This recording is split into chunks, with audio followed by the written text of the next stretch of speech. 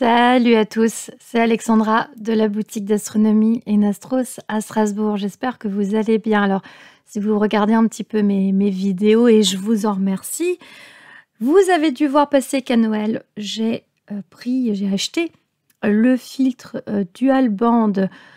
Alors, euh, c'était l'occasion, là, il y a eu quelques jours de beau temps, de le tester. J'avais vraiment, vraiment hâte de, de l'acheter, donc pour l'utiliser avec mon Vespera, le Vespera première génération, le Vespera classique, le tout premier qui est sorti, que j'avais acheté à l'époque en Kickstarter. Donc, j'ai repris euh, le visuel, la vidéo euh, que j'avais faite au mois de décembre.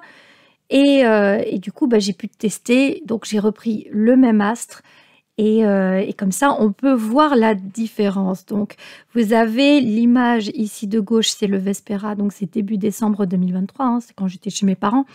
Et vous avez à droite bah, celle que j'ai fait le test il y a euh, deux jours. Donc, on est, la, la vidéo doit sortir le 13, donc c'est le 11 janvier 2024. Voilà, on voit comme ça en même temps, vous voyez un petit peu comment euh, les, différences qu'il peut y avoir voilà, entre euh, plusieurs soirées.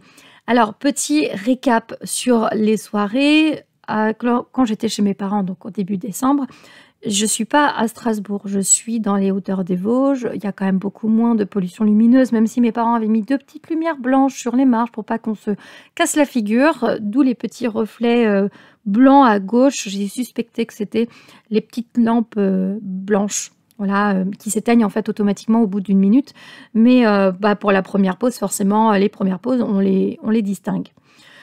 S'il n'y il y avait pas de lune, ça, c'était quand même assez exceptionnel. Superbe ciel, euh, pas un pet de nuages. Euh, en tout cas, euh, au départ, j'avais juste mal placé l'instrument. Il est tombé sur le toit, voilà, au bout de 17 minutes. Mais détail, puisque en fait, on voit bien que dès les premières photos en fait prises par le Vespera, on arrive à bien distinguer la nébuleuse. Et bien sûr, ben, entre-temps, voilà, l'image de droite est arrivée. Donc, c'était jeudi soir. Et j'ai donc à Strasbourg directement donc on a de la pollution lumineuse environnante, c'est comme une grande ville. Superbe ciel, vraiment ciel exceptionnel. On n'avait pas eu de ciel comme ça depuis euh, très très très très longtemps, donc ça fait vraiment super plaisir. En fait, ça m'a tellement fait plaisir que j'ai mieux dormi que les autres nuits. C'est fou parce que, en fait, dès que je regarde les étoiles, dès que je passe un peu de temps à admirer l'univers, généralement, je sais que je dors, euh, je dors comme un bébé en fait juste derrière. Je fais des, je fais de beaux rêves étoilés, donc j'ai super bien dormi. Et, j'étais vraiment super impressionnée par, par l'image, mais en fait, on voit bien la différence. Donc, avec le filtre dual band rajouté, est quand même dingue en fait. Euh, enfin, et encore, je suis qu'avec le Vespera classique avec la sortie. Euh, j'en parlerai dans la vidéo qui arrive demain. Vous avez un week-end avec deux vidéos. C'est une vidéo très longue avec Frédéric. On parle un petit peu des nouveautés là, des sorties. Et donc le Vespera 2 et le Vespera Pro. Enfin, c'est quand même assez. Euh, ils sont ils sont quand même meilleurs au niveau des caméras.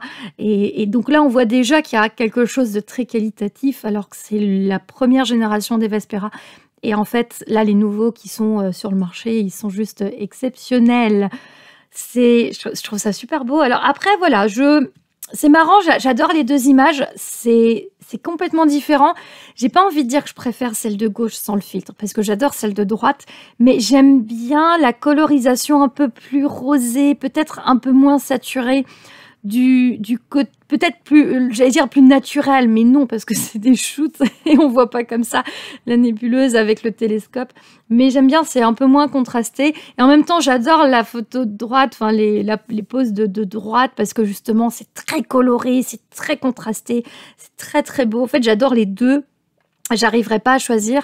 Mais là, vraiment, je trouve, euh, je trouve que c'est très intéressant, par contre, d'avoir vraiment les, les deux euh, en comparatif. Enfin, comparatif, même si ce ne sont pas les mêmes soirées, c'est le même instrument, c'est à peu près... Alors, vous voyez les horaires en haut, forcément.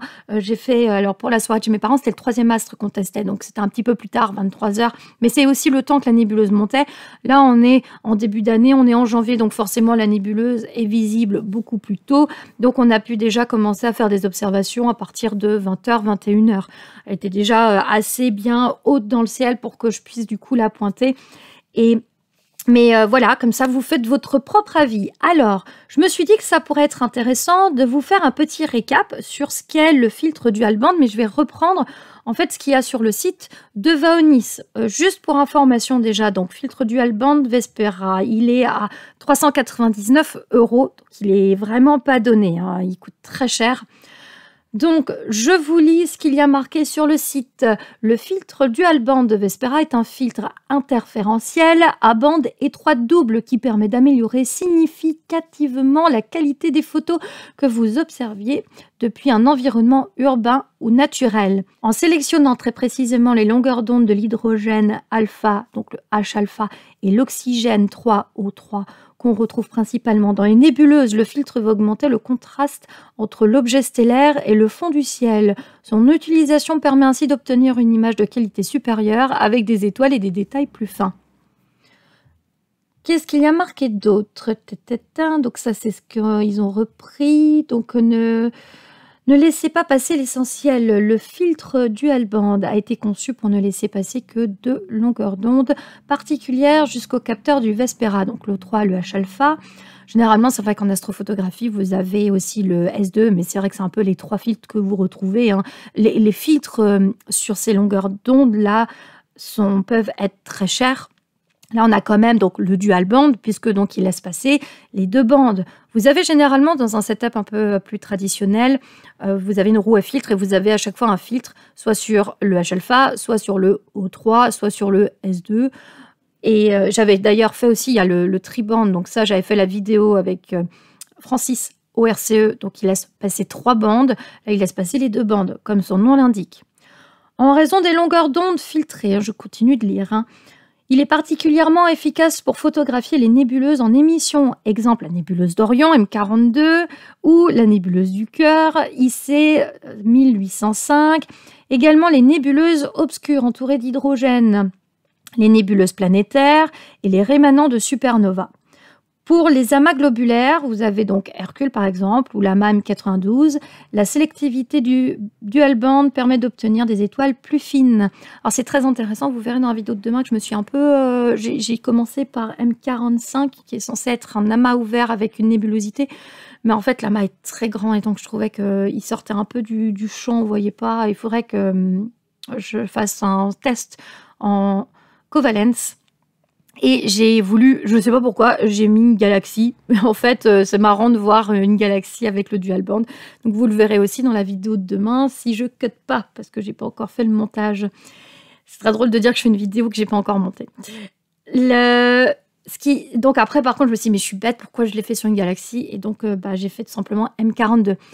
Il est prévu euh, que je fasse un covalence, en hein, toute façon, avec le filtre, parce que forcément, quand vous êtes avec des pauses comme ça, des shoots de 10 secondes, vous êtes sur, euh, des, sur, sur le capteur, en fait, il est en 2 mégapixels. Et quand vous êtes là avec le Vespera de première génération, avec le Covalence, je monte euh, à 6, 6 ou 8. Ça y est, maintenant j'ai oublié. 6 euh, millions de pixels. donc c'est, on a quand même une meilleure qualité. Je mettrai un petit astérix si je me suis trompée, je vous mettrai le nombre de millions de pixels. Ça y est, pourquoi ça m'échappe? Bah parce qu'en fait, j'ai les deux autres en fait en tête. ouais, parce que le Vespera 2, il est en 24, 24 euh, mégapixels en covalence et le Vespera Pro, il est en 32 mégapixels. Euh, en covalence, c'est juste complètement dingue. Quoi. En fait, je suis tellement, euh, je, suis tellement envieuse de les. Enfin, voilà, j'adore ma petite Eve, mais j'avoue que je, je suis un peu deg de ne pas pouvoir m'acheter les autres aussi. C'est assez exceptionnel. Hein. 32, enfin 24 et 32, c'est très très bon en covalence. Mais euh, voilà, du coup, ça m'échappe là sur le coup, le, mien, combien il est en covalence, je vous le mettrai. Et, donc, c'est vrai que là, c'est les pots, c'est en 2 millions. Hein. Là, ici, on est en 2 mégapixels euh, sur, euh, sur là, les, les, shoots que je vous montre. Mais c'est quand même déjà, c'est déjà super sympa.